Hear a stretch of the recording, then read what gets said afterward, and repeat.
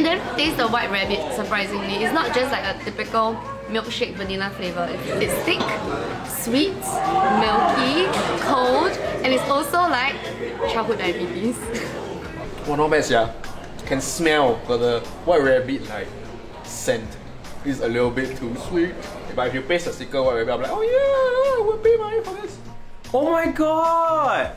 That's damn nice! Reminds me of me as a little boy going to the mama shop to buy white rabbit candy and just happily eating it. Oh my god, this is like childhood dreams eh. I can't give it back to you. You taste, let me taste it now, I really want the entire thing. Do you have another batch? no more! Ah!